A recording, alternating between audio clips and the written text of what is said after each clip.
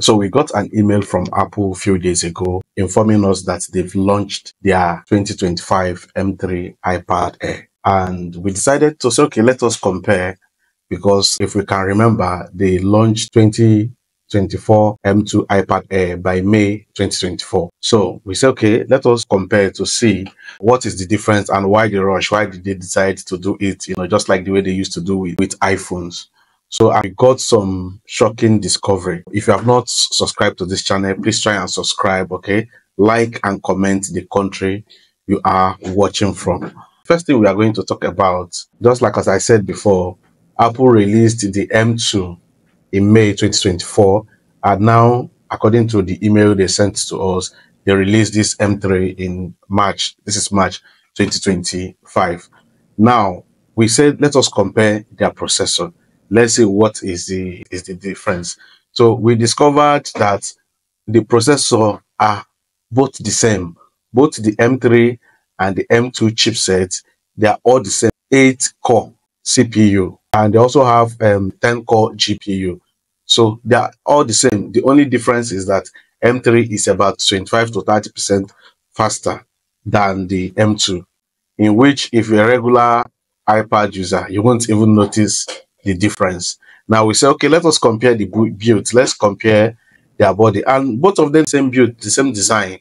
Okay, like as you can see on your screen, both of them, their dimension is 247.6 by 170 by 178.5 then by 6.1 okay millimeter their weight the only difference in their weight is so is because the weight on m2 is 462 gram, while on M3 is 461. So just different of one gram.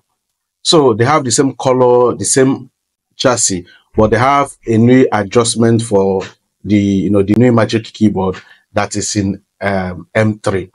For the display, both of them has the same display. They have 2360 by 1460 13 inches display. Also have the same brightness, 600 nits, the same uh, Retina LCD, and 60 hertz refresh rate. There's nothing different.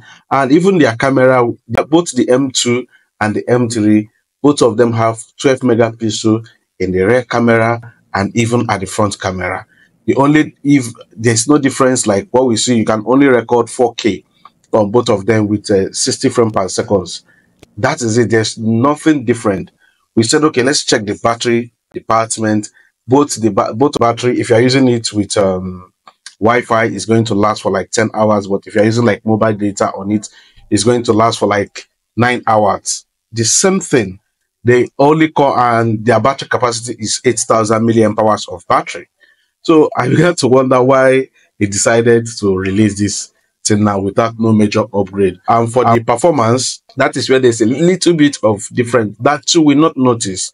The performance, the M2 has a 2600 single core um, and a multi-core, you know, and 9500 multi-core for solid, you know, multitasking and gaming.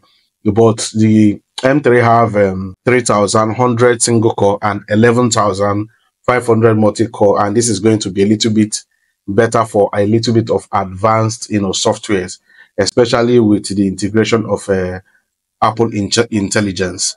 So both of them are going to run on iPad OS 18 and the Apple Intelligence is still going to be there. So there's no difference. And when we look at the price, but the good thing with this is that it has reduced the price of that of M2 because initially M2 was going for around 599 for the 11 inches.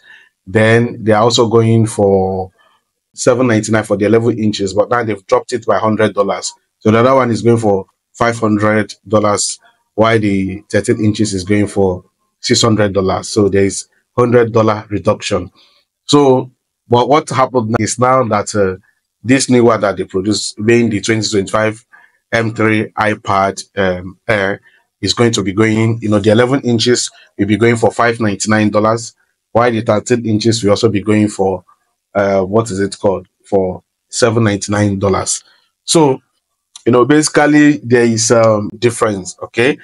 You won't notice it if you are somebody that is just playing with your iPad, you are not doing any serious video editing. For me, I would recommend you stay with the one that you are using.